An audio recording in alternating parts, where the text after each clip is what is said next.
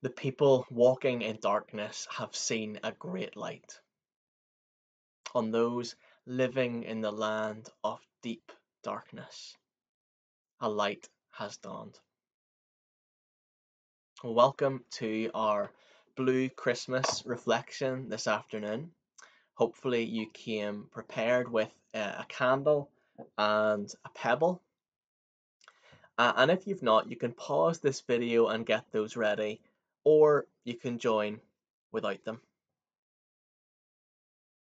This is somewhere to be if the idea of Christmas doesn't leave you feeling particularly merry and bright. Um, if the idea of celebrations make a grief all the sharper.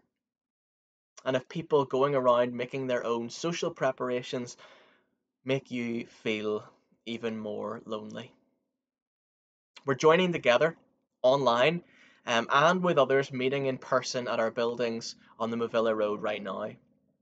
And perhaps with that knowledge, and as we think about the Christmas message, you will find comfort and hope in knowing that you are not alone.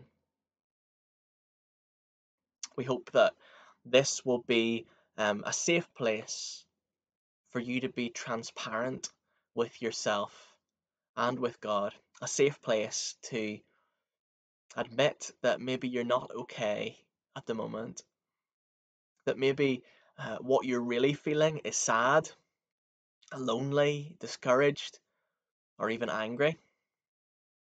This is a place for you to be real with your struggles and your questions, a place to express yourself with words or with tears or with silence. So, we're going to hear some words of scripture. We'll pray, we'll take time to acknowledge our grief and offer it to God. And we'll pause to remember those who we've lost. And if you're comfortable doing so, um, as I pray these words, maybe you'd like to join me quietly in your own heart. Let's pray.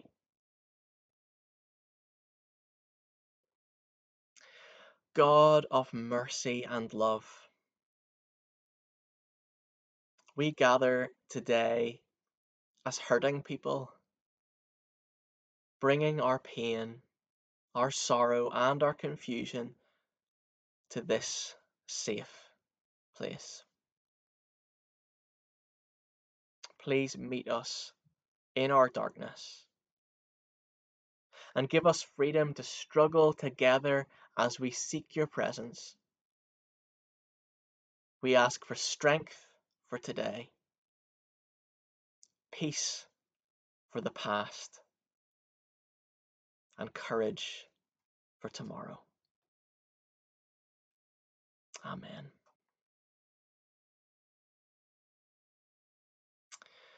Now let's hear these words from Psalm 139 that assure us that no matter how cut off we may feel, God, who loves us perfectly, knows exactly how we feel and what we think.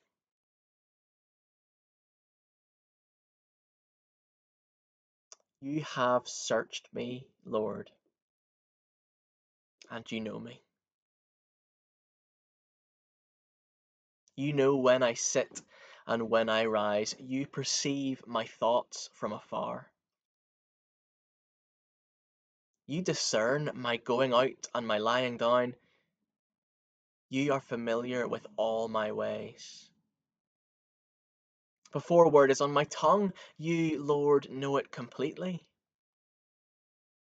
You hem me in, behind and before. And you lay your hand upon me. Such knowledge is too wonderful for me, too lofty for me to attain. Where can I go from your spirit? Where can I flee from your presence? If I go up to the heavens, you're there. If I make my bed in the depths, you're there. If I rise on the wings of the dawn, if I settle on the far side of the sea, even there Your hand will guide me. Your right hand will hold me fast. If I say, Surely this darkness will hide me, and the light will become night around me, even the darkness will not be dark to you. The night will shine like the day. Darkness is as light to you. For you created my inmost being. You knit me together in my mother's womb. I praise you because I am fearfully and wonderfully made. Your works are wonderful. I know that full well. My frame was not hidden from you when I was made in the secret place, when I was woven together in the depths of the earth. Your eyes saw my unformed body. All the days ordained for me were written in your book before one of them came to be.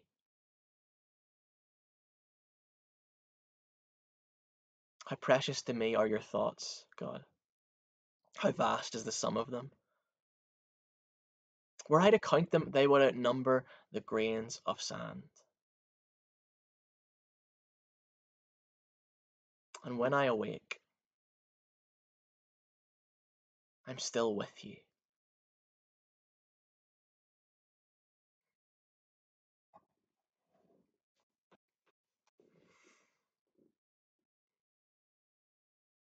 In this time, we want to step away from the noise and the clamour of the season to spend some time in quietness.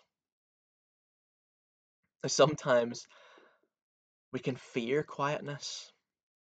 If we shut off the noise, who knows what difficult thoughts or feelings might come to the surface. But in the safety of this place, in the presence of God, we have nothing to fear. So we'll spend a few moments in quietness um, to allow each of us to be honest with ourselves and honest with God about the state of our hearts and our circumstances and our feelings, and to acknowledge anger, loss, hurt, confusion, loneliness, regret, weariness, whatever it is that we carry with us today. Let's be still.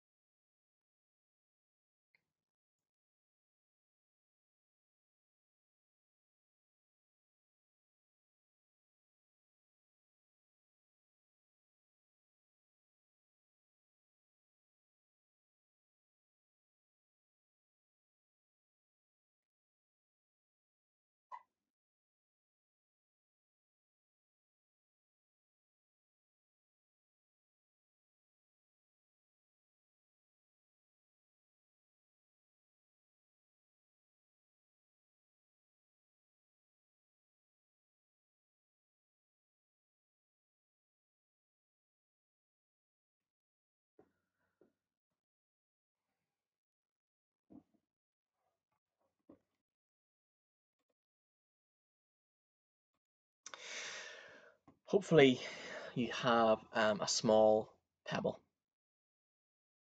I want to invite you to pick it up now. Unless you've been holding it, it should feel cold to the touch and hard.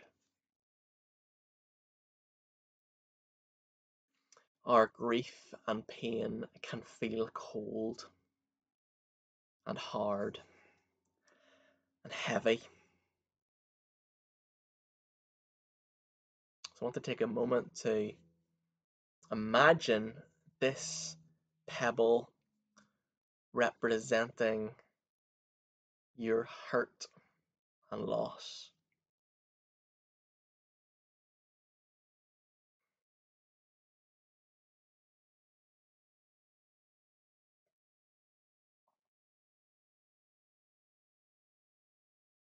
One day, Jesus said to his followers, Come to me, all you who are weary and burdened, and I will give you rest. Take my yoke upon you and learn from me, for I am gentle and humble in heart, and you will find rest for your souls. Rest for your souls.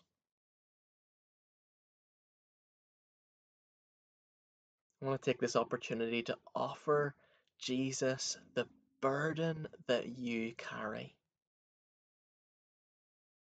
so that Jesus can share your burden. Jesus can um, take that burden from you and give you rest. So I want to want us to visualize bringing this to the feet of Jesus. And maybe you'd like to set it just in front of your computer screen. And maybe later on you want to take it and set it down outside or a bit of a tree or something, something to represent bringing this to Jesus, like acknowledging its weight, its coldness, its hardness, but handing it over.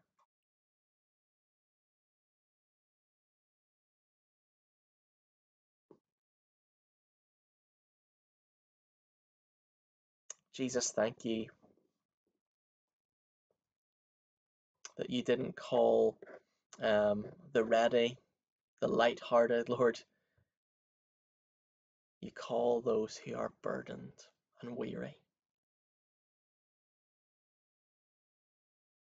So, Lord, as we acknowledge our burdens, as we acknowledge our weariness, we hand it over to you and ask that with you we would find rest for our souls.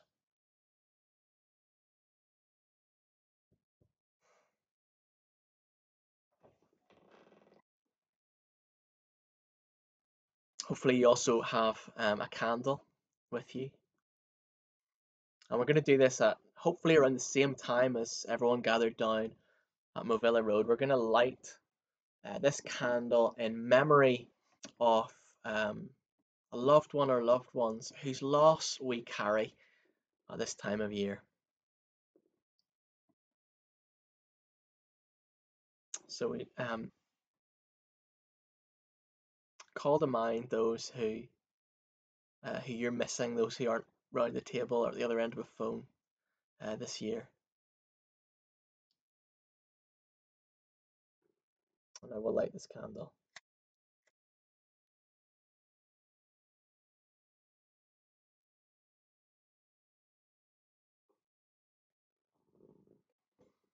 We light our candles to remember those whom we have loved and lost.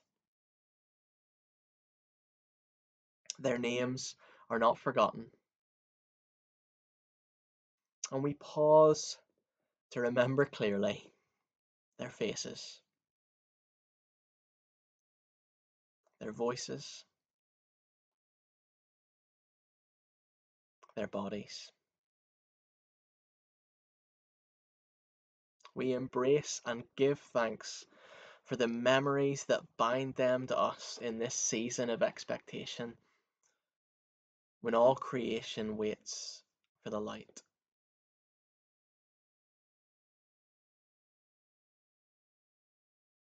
We remember them with love. May God's eternal love surround them. Maybe you'd like to pray that with me, actually. I'll say each line and you can repeat after me out loud if you're comfortable or just in the quietness of your own heart. We pray. We remember them with love. We remember them with love. May God's eternal love surround them. May God's eternal love surround them.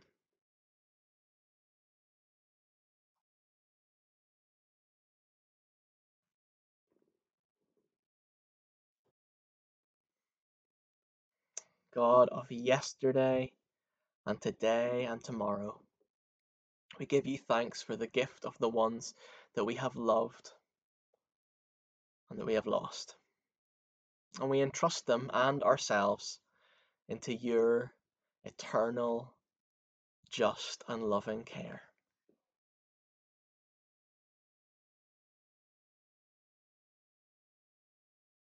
Generous and gracious God, we look to you for compassion and we thank you for your presence with us in this time. When we're overwhelmed by our burdens, we can easily forget that you never leave us alone. Your steadfast love never falters. And by joining together like this online, we find assurance and comfort that we do not suffer our longest nights alone. You have given us strength to live through this night. Give us the strength of your Holy Spirit to live through every night and turn us to reach out to those whose night is also long. Grant that we may be your healing presence in their lives by bringing them your compassion and comfort that will assure them that they do not suffer alone. Amen.